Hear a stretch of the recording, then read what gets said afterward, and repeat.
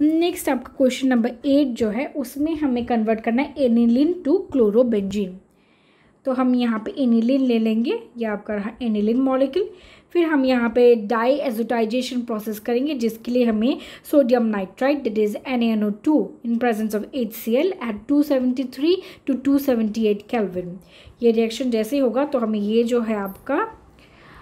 Benzene diazonium chloride, ये मिल जाएगी। Benzene diazonium chloride. ना बेंजीन डाइजोनियम क्लोराइड को जैसे ही हम copper chloride in presence of H करेंगे रिएक्शन दैट इज़ तो हमें क्लोरोबेंजिन मिल जाएगी। ये जो रिएक्शन है, जिसमें हम एक आपका बेंजीन डाइज, बेंजीन डाइजोनियम क्लोराइड को किसी भी क्लोरोबेंजीन में कन्वर्ट कर रहे हैं तो इसे हम कहते हैं एक सेंडमेयर रिएक्शन सेंडमेयर रिएक्शन